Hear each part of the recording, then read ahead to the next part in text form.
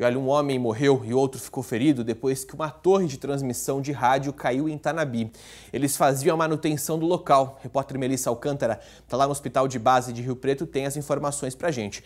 Melissa, bom dia para você. Qual que é o estado de saúde desse homem que foi levado para ser atendido aí no hospital? Bom dia para você. Olá, Casagrande. Bom dia a você, bom dia a todos. Olha, segundo a assessoria de imprensa do Hospital de Base aqui de Rio Preto, o estado de saúde de Douglas Ferreira é estável, ele está consciente, não passou por cirurgia, está apenas com uma tala no braço direito, mas não tem previsão de alta. E de acordo ali com o corpo de bombeiros, os dois técnicos trabalhavam, Casagrande, na desmontagem do equipamento que possuía aí 48 metros de altura. A gente tem inclusive algumas fotos, algumas imagens de momentos depois do acidente. Eles já haviam retirado 38 metros da torre quando, por motivos ainda a serem esclarecidos pela perícia, ela caiu. O equipamento ficou sobre o tórax de Carlos Alberto de Oliveira, de 54 anos, e de Douglas Ferreira. Os dois foram socorridos pelo Corpo de Bombeiros e levados até a Santa Casa de Tanabi.